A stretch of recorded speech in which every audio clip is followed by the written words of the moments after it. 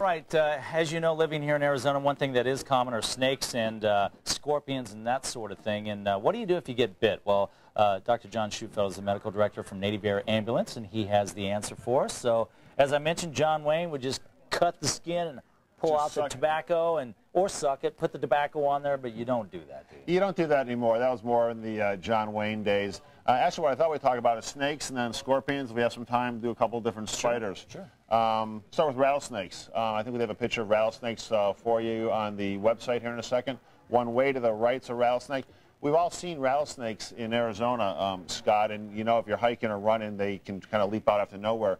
The interesting thing about them is if a, they can jump or move about half their whole length. So if mm-hmm. it's a seven-foot long snake, it can kind of coil and go about three and a half feet. Yeah. So eh, they can definitely strike you.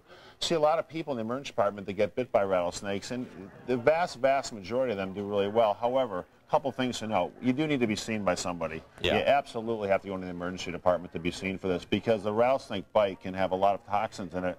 They can actually cause limb necrosis. People's limbs swell up, the blood supply gets cut off, and actually people even lose their limb from rattlesnake bites. Wow. So it's one of those things. Remain calm. Definitely take off loose, take off constricting articles of clothing, and, and head out into the emergency department. Do you need to, like if you got uh, hit on the ankle, do you need to keep the foot up? Does that matter? Exactly. They want you to keep the foot up uh, before you come in, but getting in as quick as possible is. But you can walk, crucial. right? You absolutely can walk, Yeah. and sometimes you have to walk. What you Yeah. don't want to do is make the incision, suck out the poison. You know, do the old John Wayne thing. It's not going to do it. It's not going to work, and you'll be, you know, somebody will be stabbing you trying Yeah. to do it.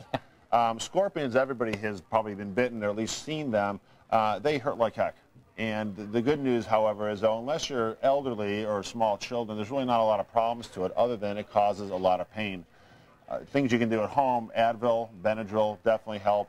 Uh, the pain lasts for 6 to 12 hours typically. Is that right? Is They, it like uh, a bee sting or much worse? well, it, I think people describe it hurting a lot worse than bee stings, uh, and it definitely hurts. But we treat people with uh, over-the-counter uh, analgesics like Advil or Tylenol. They definitely get Benadryl. You can put some ice on them. I'll tell you what, those things scare the heck. I'm not scared of snakes at all, but scorpions and spiders scare the heck out of me. They, they absolutely, they look ugly, and it hurts when you get bit. So moving right down the uh, website, talk about uh, brown recluse uh, spider bites.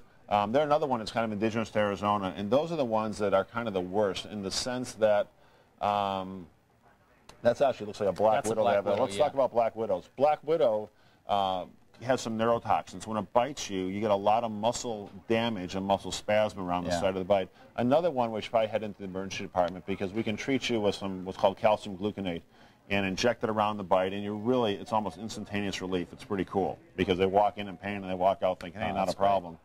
Um, and That, then that brown recluse, back to that, uh, doesn't your skin, it, it gets eaten away, doesn't it? That's that's the problem with brown recluse spider bites. One, there's no real treatment for them, and they look pretty innocuous, two little small puncture wounds. Yeah. And then all of a sudden, a couple days later, you get this reddened area, and then a whitish area. Then underneath that's this big ulcer, and people actually have to get skin grafted for them. Is that right? They are a problem.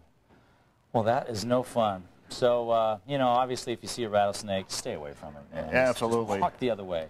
Uh, if they go to nextcare.com, they can uh, learn all about this. There's about five pages on uh, under the Channel 3 heading. All right, nextcare.com. There's the website. John, thank you very much. Thank we you. Good appreciate seeing it. you. It's always good seeing you, too. Okay, big boy, we'll catch you later. I'm going to settle on out of here. All right, Marty, have you ever been bitten by anything like that? Uh, no. Can't Now, you're, that you're terrified of snakes. You're like my mom. terrified is an understatement, Yeah. clearly. But, But what no. about spiders and scorpions? Not a big fan of spiders and even less of scorpions. I've, we've found a couple of scorpions around the house. I think everybody has yeah, they're Arizona everywhere. They time really are, but yeah. man, they're wicked looking. I know. I, I, I hope that it never happens to my baby Kate because you hear about babies getting stung all the Right. time. Why is that? Well, I think, you know, they're basically defenseless. They lay there and some scorpion walks up and stings them. And actually, babies, it was described as a kid flipping around on a hot griddle. Really? Is what they look like. They absolutely just go crazy. And the first time you see it, it's mind-boggling. Well, hopefully that won't ever On happen. She's well guarded. She, Because you know why? You know why that's ever going to happen? Because she's